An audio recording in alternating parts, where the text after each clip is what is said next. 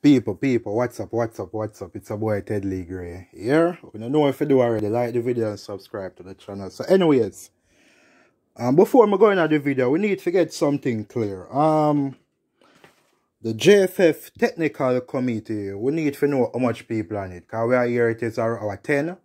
Now the Jamaica Observer basically say Ricketts, most of them said is a seven member committee. So all I know is so Rudolph Speid is the head of it.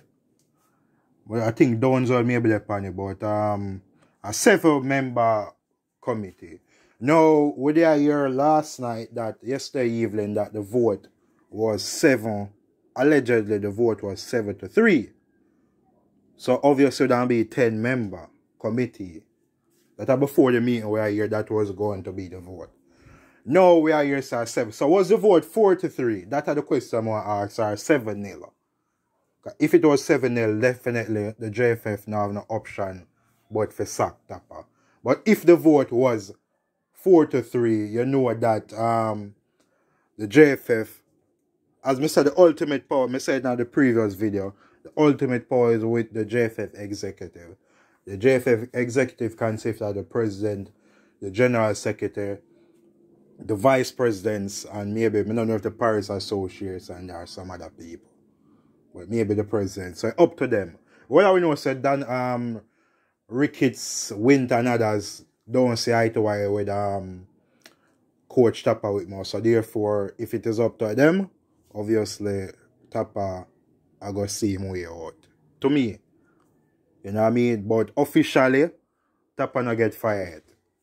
Maybe the technical, as I say, the technical up committee make them recommendation and the JFF act upon it. Now, the JFF always said maybe the JFF don't have the money. That are the big issue. Maybe they want to fire him, but the money not there. You know. Now, going to Ravel Morrison. Ravel, the Tappa get an unlikely support from a man where him they drop out time. Squad, he get an unlikely. Because everybody has said if people come out Mr. Um, Ravel Morrison responded to a tweet from Military Gooner that a Mario Akers regards to that are before the sacking, but there are rumors of the sacking. And Mr. Ravel Morrison responded with a below the post with a tweet saying it make no sense you're fire Tappa right now.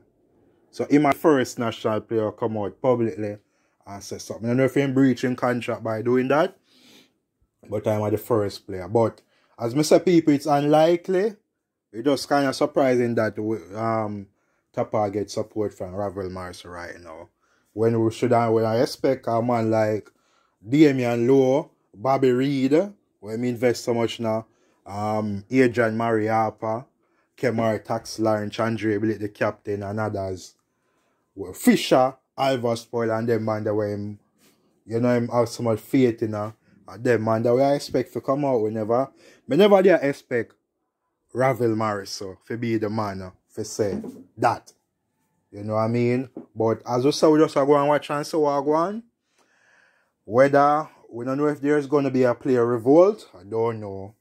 You know what I mean? But make a watch and see what go on. Because obviously the campaign are mash up if Ricky Hill get it. That's just reality. If it's a high profile coach or every player can work with, you know, like a Chris Hume or Big Sam, Sam Allardyce, people work. But if it's a man where nobody don't know about, you know, a problem. Problem going at the camp, a reality. So anyways, people, that are my opinion on this uh, situation. Whether people answer me have an agenda or whatsoever. We just a report on the news right now and give your opinion. Nothing wrong with that.